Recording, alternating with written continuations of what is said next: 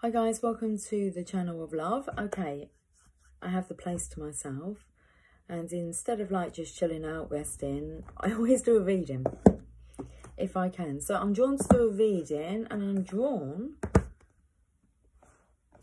to the Rumi Oracle. Maybe to start with this message. Um, for two reasons. One, because I felt drawn to them.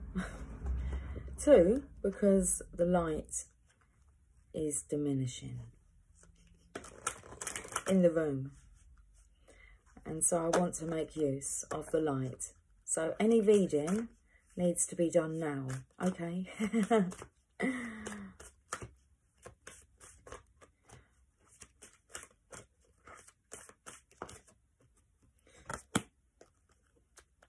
Maybe we'll just pull a few cards. I'll keep an eye on the light.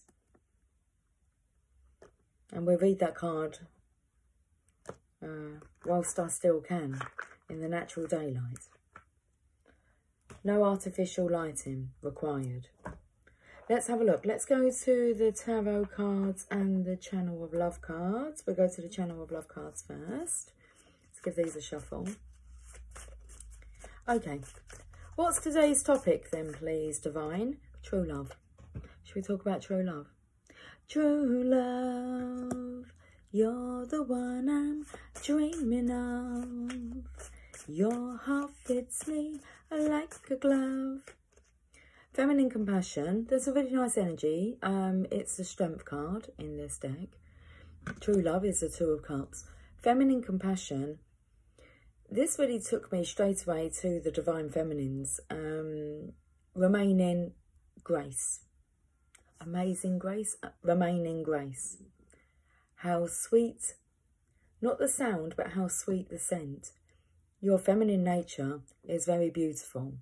So hang out uh, in your feminineness. True love. Feminine compassion and Mrs. Do As You Are Told. That's interesting because the feminine compassion here with the strength card is a blend. It means that you're balanced in your masculine and feminine energy. Okay, so if you're in your feminine energy, that doesn't mean that your masculine side is just dormant and doesn't exist. And as I've done that, the top cards come off of the Rider-Waite Tower and gone onto the floor. So Mrs. Do As You Are Told, um, I felt that's the Queen of Swords energy here that you are very much in control of um of your life and your direction.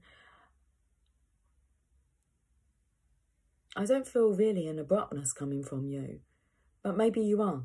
Mrs., you are Mrs., and it's best to do as you are told. Who's telling you? I imagine the divine is. Although I feel the divine masculine is telling you, just be, just be my gal. Okay, let's have a look. Chariot in reverse. That's interesting. For one, I felt that there can be a forceful energy with the chariot, and if we turn that up the other way, um, the chariot's holding back. That will be grace. Let's give the tarot cards a shuffle.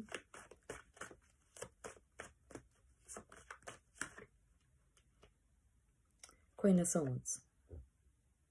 You're summoning forward um, you're not needing to do anything, Divine Feminine. The Queen of Swords is here. Mrs. Do as you are told.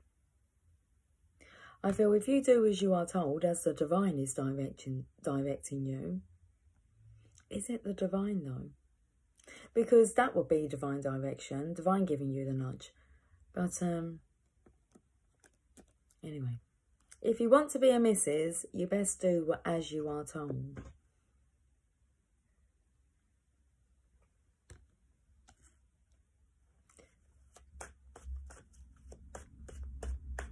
This ear is itching. I just heard a sound that sounded like itching. I feel like I'm going to sneeze now. But that would be a blessing. oh, bless me. Thank you. page of Wands. A passionate page. I was going to call him a passionate prince. I spoke about this card where there's like passion in the pants. You may have Anthony's pants as well. Turn around, bright eyes. Oh my goodness, am I going to sneeze again? Okay, um, I'm not sure. That's kind of a blankish kind of um look here. Like, I'm not sure. I can't read his face. I can't, I can't read his character. It's kind of like if you face me, I'll have a better chance of kind of um, making sense of it. King of Cups.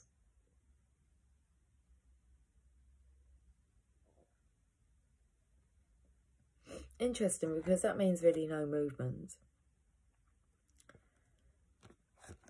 There's no movement from you either. This masculine's got his back to you. As a passionate prince.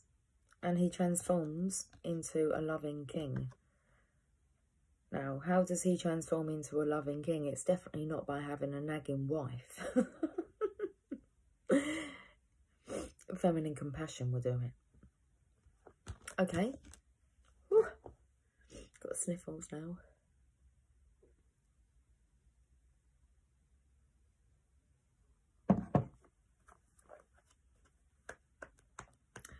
We're going to read this Rumi card. Bottom of the deck, Justice.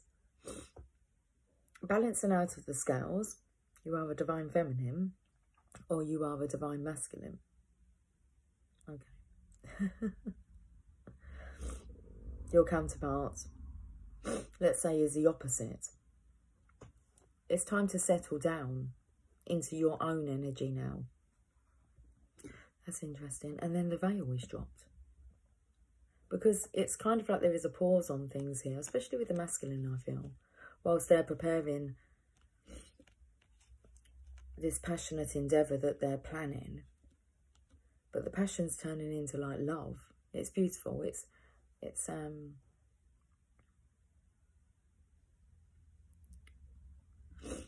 the energy of not really lusting after someone, but loving them.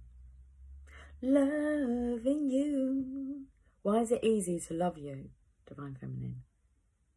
Is easy cause you're beautiful. Beautiful nature. Let's have a look at the bottom of the deck here through the veil of illusion. Okay. So I actually feel this message is for the Divine Feminine. If you're a Divine Feminine, then act like one. and then the veil will be dropped or you'll go through the veil. You're allowed access.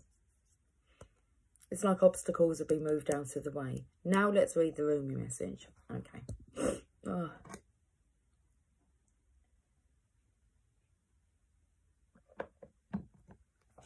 And the card is the dissolving light. They're funny, aren't they, really? Did I call it diminishing? The light will be diminishing. What can you see there?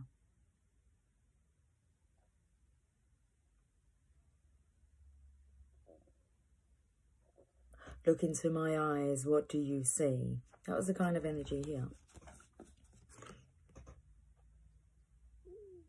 As the pussycat shook her head, as if like she was waking up from a daze.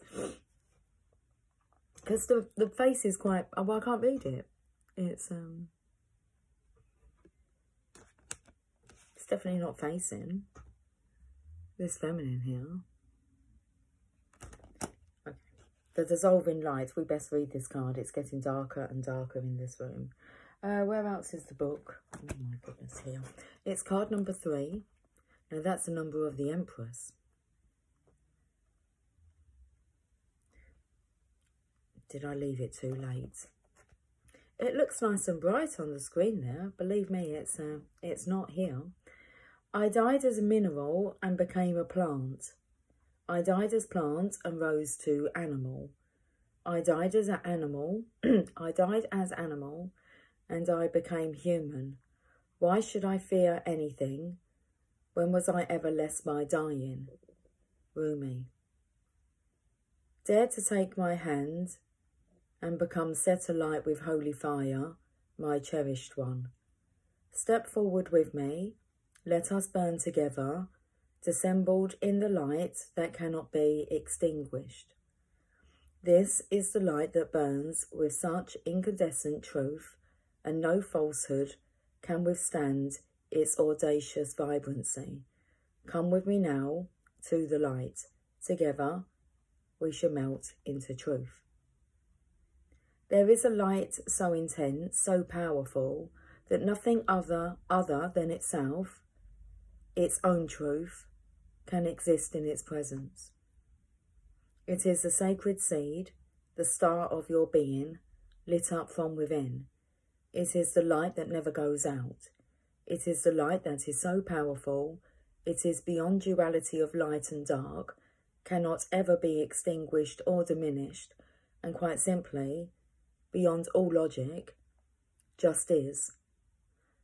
Certainly no lie or deception, no boundary or defence can remain intact in its presence. The blazing divinity of this light sees through any pretense, annihilates illusions, and takes us into stark experience of divine truth. It is gentleness, and yet it cannot be overcome. It is enduring power, and yet it is tender. Though you seek the divine, and even know it as love, you also know that it is fierce, wild, inexplicable, and demanding beyond all measure. It wants you completely, utterly, without condition. There will be times in your life, such as now, when there is something not worthy of you that must be released. This is a falsehood, a lie or deception of some sort that you have come to believe about yourself, your life, or perhaps even another. You may know what that deception is, or it may be about to be unveiled. It is not a cause for fear or concern, but for celebration. An illusion has or soon will be released, and you shall become freer, free in a way that only truth can provide. This oracle comes to you as a sign of that which is to come and soon. The beloved divine presence is calling to you, igniting within your deepest being so that it may have its way with you. The divine wishes to live through you and into the world, reaching into the hearts of many and igniting those hearts into greater life. It is a clever and insatiable lover.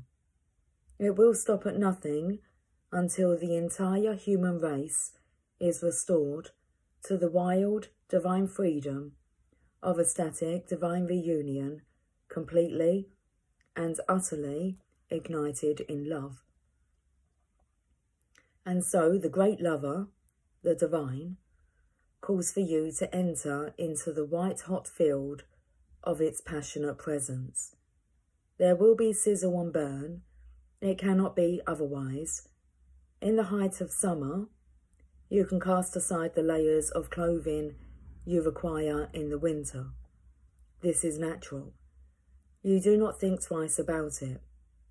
As you approach the radiant sun of divinity, your emotional and psychological layers are to be shed too, for they are too heavy for the heat of the great spiritual sun. What cannot stand the heavenly heat is to be cast aside swiftly by conscious choice, or shall simply burn up, dissolving in the light and melting away. What is left shall be what is true. So here is your guidance, sweet lover of the great beloved. Give it up, the smallness, the conditions, the fears and doubts, the lack of reverence for yourself and life, the belief that somehow things are not okay or aren't going to work out. This is all a paltry attempt at truth. You are coming into a truth now that is far more worthy of you, a truth with a capital T, the big truth. Love, trust, surrender. This is about a sacred shedding without fear or holding back. Cast aside whatever would hold you back rather than free you to fly into your divine destiny. You are not to be the same from this moment on. This is the holy word, the word inscribed in living divine fire in your sacred heart. This oracle brings you guidance. Trust in your changing perspective and perceptions. Don't hold on to what you once believed or thought to be true. Allow yourself to be shown another version of events, another way of perceiving. Don't focus on what is not working in your current estimation of things, for that is nothing more than a passing opinion. You are being given an opportunity to see and know yourself, others, and particular life circumstances very differently. Embrace it. Don't resist what is being shown to you. For even if there are some struggles in adjusting your view at first, ultimately this change in perception will free you and bring you more deeply into the wellspring of your own inner peace and happiness. That's beautiful. Hey, missus, what are you up to? She's trying to get into a, brown paper bag.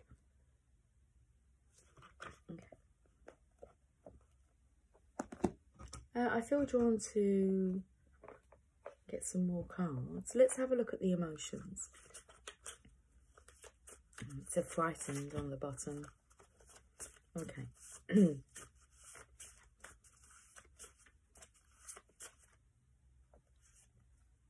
Bubbly, full of cheerful high spirits. It's definitely the Divine Feminine's energy. Bubbly. True love with the King of Cups. This masculine's taking this seriously.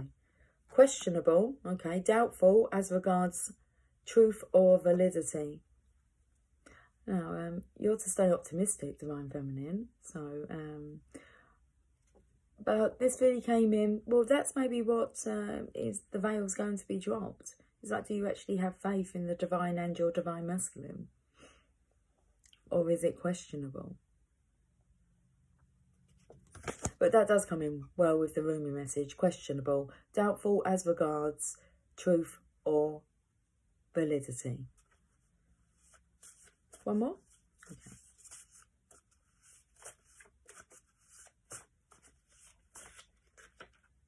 Egotistical, excessively conceited or absorbed in oneself, self-centered.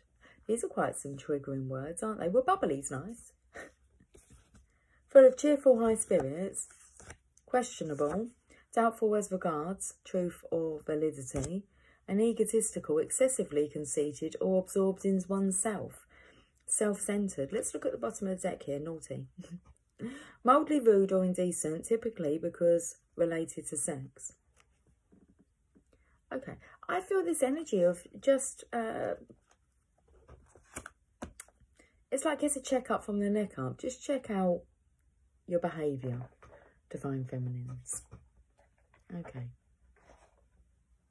Like I said, act, walk, talk. um, as a Divine Feminine would. Escape in reverse. Okay, so this energy could be coming in because you might be, uh, I wanted to say like bored, Okay. But um, what was coming through is, before really you do anything, just say to yourself, uh, well, before anything really, what would the Divine Feminine do? Whether it's a situation or a case. case study. Okay. What would the Divine Feminine do? Escape in reverse. and the bear is out of hibernation. I feel until you kind of have this checkup, Divine Feminine, I don't feel that the Divine Masculine's, uh, I don't feel like it's a balanced energy, although it feels balanced. I mean, I was, you know, saying that it feels a really nice energy, but then in came the divine is taking care of us. Um, and in came the divine is taking care of us. There's always room for growth, isn't there? Well, there should be. Make sure there's always room for growth. Don't become too big-headed. In reverse, I'm dreaming of rescuing you. Okay. cue. I feel that this is your cue, Divine Feminine. Only you can rescue yourself if you feel that you need rescuing. Let's leave on another note. Okay. Does that mean they want the radio on? Let's have a look. It's been quite a short reading, actually. Let's um, see what's on the radio. Secret lover. That's what we are. Secret lovers.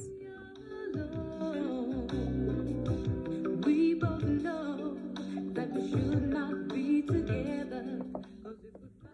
Interesting. We both know we should not be together. Secret lovers.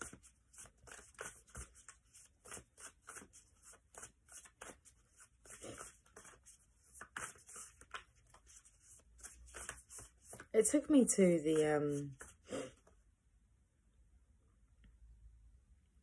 the card that's in the Chakra Wisdom deck. It's um Destiny, black and white, and um they've come like back to Earth again and found out that they're not going to be together, and so they go before the the council, the Great Council, I think it's called, and they're going to ask like the Great Spirit, who actually does um, grant them their wish. Uh, stronger together than apart. Okay, so I'm dreaming of rescuing you.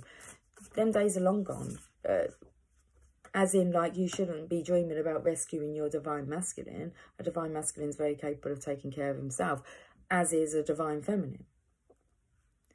So I feel there's just some tweaking. Tweaking. of one's behaviour. We've got three cards. Okay. The first one is White Witch, Be the Light. Okay, well, we started off with that. Be the light, Divine Feminine. Let's see if I can read this. Of course I can read this. The light never goes out. So I was just told. The White Witch, Be the Light. Take the highest road and choose the light. Remove yourself from lower energy experiences. Okay. The White Witch card represents the maiden aspect of the triple goddess of paganism and modern Wicca. The maiden is a gentle, innocent, and pure aspect of the goddess, a loving soul who wants nothing but the best for the whole earth. Here, she is joined by a horned owl, showing that she is willing to respect those with more wisdom and experience than she has but she is also willing to trust what she feels to be right within. With this card, you are being reminded of the goddess within. That's a good title, isn't it? Being reminded of the goddess within. If I remember it. Of course I would. The Divine Feminine would remember that. Okay. You're being reminded of the goddess within. No matter what is happening to you or around, or around you, you have a choice. Choose not to be pulled into dramas, bickering, or energies that are just going to limit your joy.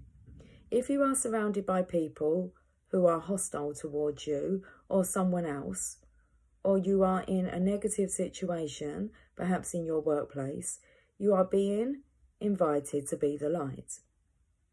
You are an incredible person who can really bring light. So how can you change the energy? How can you redirect the conversation to love?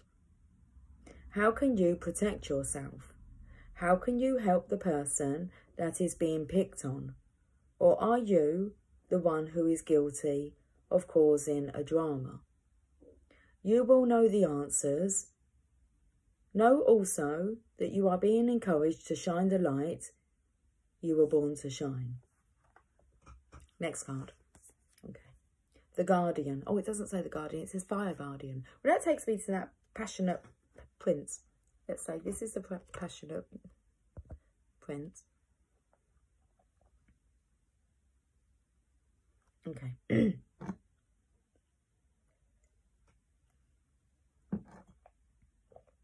Fire Guardian ignites your passions. I feel like this is um, guidance for the Divine Masculine. But let's read it. Maybe your Divine Masculine, Inner Masculine will take it on board. Let's have a look. Fire Guardian. Connect with your desires. The sparks could lead to something beautiful. I do feel this is really what was touching on here for the masculine.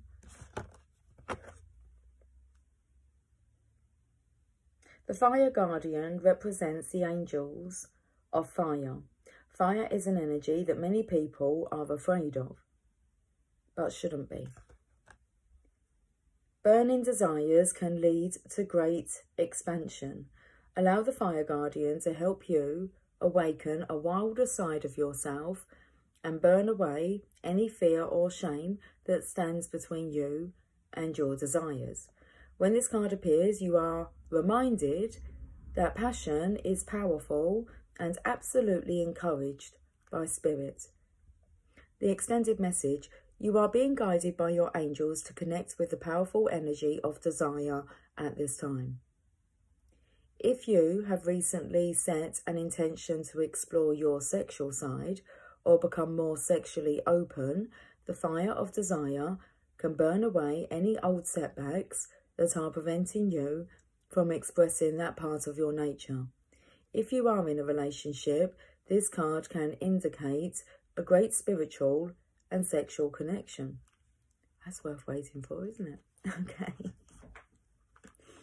Next card. The final card. High Priestess. Wow, Divine Feminine. Harness Mystic Power.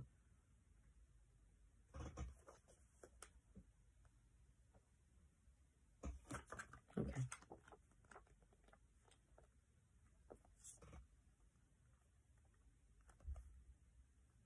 Align with the light and focus on all things positive.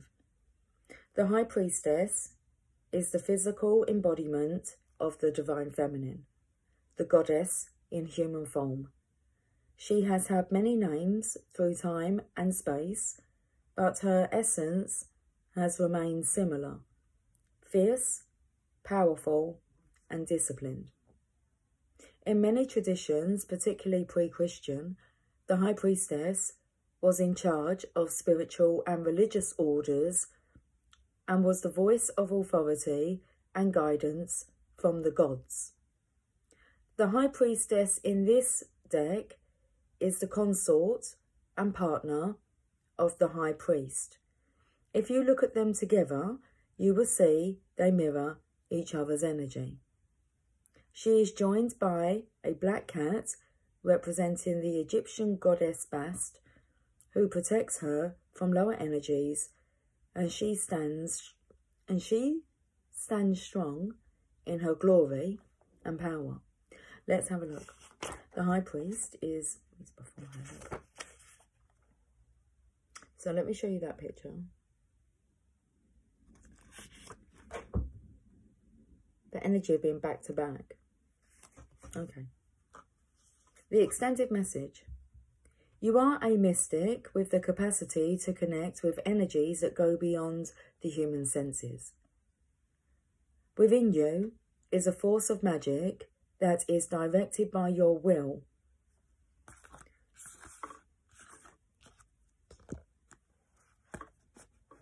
I will find the card.